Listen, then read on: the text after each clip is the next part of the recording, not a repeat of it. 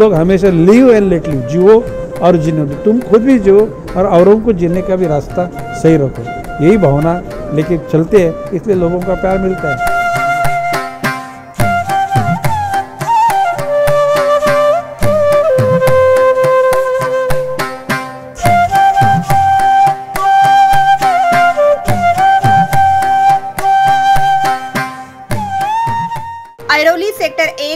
अयप्पा मंदिर में श्री अयप्पा सेवा समिति के माध्यम से निर्मित सभागृह का उद्घाटन विधायक गणेश नाइक के हाथों किया गया, जहाँ उनके साथ पूर्व सांसद संजीव नाइक पूर्व स्थायी समिति सभापति अनंत सुतार, पूर्व नगर सेविका शशिकला सुतार, समिति के अध्यक्ष हरीश शेट्टी एवं सभी वर्तमान तथा भूतपूर्व सदस्य मौजूद थे।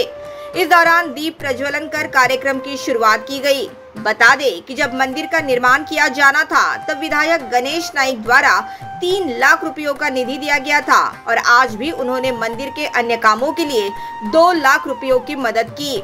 इस दौरान पत्रकारों से बात करते हुए विधायक गणेश नाइक ने कहा कि अयप्पा सेवा समिति में शामिल लोग हमेशा समाज के लोगों को प्रोत्साहन देने का काम करते हैं। उनके माध्यम से महिलाओं के लिए भी विभिन्न कार्यक्रम आयोजित किए जाते हैं। साथ ही स्पोर्ट्स, शिक्षण को भी उनके माध्यम से प्रोत्साहन दिया जाता है। नवी मुंबई की शान बढ़ाने का काम इस समाज ने किया है, ऐसा भी उन्होंने कहा। अयप्पा सेवा समिति अयप्पा स्वामी सेवा समिति, ऐरोली, ये मंदिर का पुनर्निर्माण, जीर्णोद्धार और हॉल का निर्माण, इस मकसद से हम लोग यहाँ पे आए थे। आज के जो उनके जो अध्यक्ष हैं, हरीश शेट्टी, ऐसे सब लोग का योगदान रहा है, जो एक्स प्रेसिडेंट भी है वो लोगों ने बहुत मेहनत किया है।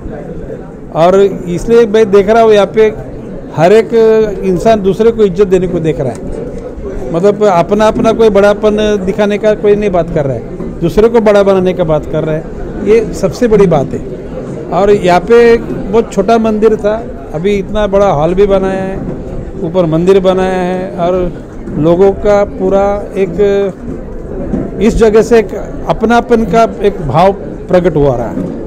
कि लोग इधर मंदिर में आते हैं दूसरे के दुख दूर करने की भावना मन में रख के भगवान को पूजा करते हैं और उनको सुख मिले ऐसी इच्छा व्यक्त करते हैं। और मैं ये बोलूँगा कि भाई ये जो इसमें पुजारी होंगे, सालियन होंगे, लेकिन ये सब सिटी लोग हैं, मलबार में कर्नाटक के इलाके से लोग आए।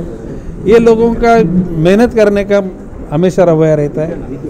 और सभी को साथ में लेके सभी स्तर पे एजुकेशन हेल्थ इकोनॉमी मतलब धंधा पानी जो करना है वो साथ में करके एक दूसरे को मदद करने की भावना, इनका बंस जो नई मुंबई बंस समाज, बहुत बड़ा तगड़ा समाज है, जिसके माध्यम से सबका ध्यान दिया जाता है।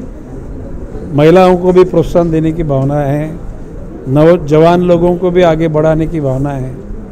स्पोर्ट्स में हो, एजुकेशन में हो, ट्रेड में हो, इंडस्ट्री में हो। और इससे देश बढ़ता है।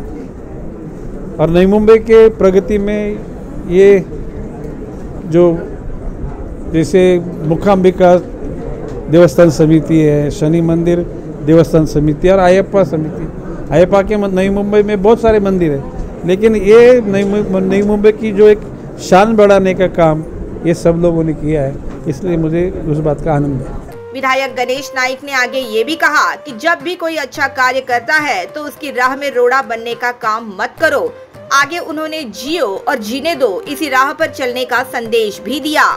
हमारे खानदानी संस्कार है उसे कि इंसान के ओर उसके पहले उसका धर्म कौन सा है भाषा कौन सी है जात कौन सी है वो पैसे वाला है या गरीब है, इसको ध्यान मत दो। वो इंसान है, उसकी अड़चन क्या है, वो अड़चन में उसको मदद कर सकता है तो करो, लेकिन उसको दुख देने का या उसको हर्डल, उसके रास्ते में गड्ढे खोदने का काम मत करो। ये संस्कार हमें पहले से है, और इसलिए आज नहीं, मैं उम्र की 20 साल से मैं इस नई मुंबई के समाज सेवा में लगा उस टाइम में नई मुंबई की लोक संख्या साढ़े चार लाख थी।